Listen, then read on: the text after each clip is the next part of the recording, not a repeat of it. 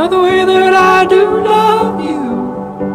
Well, holy moly, me oh my, you're the apple of my eye. Girl, I've never loved one like you.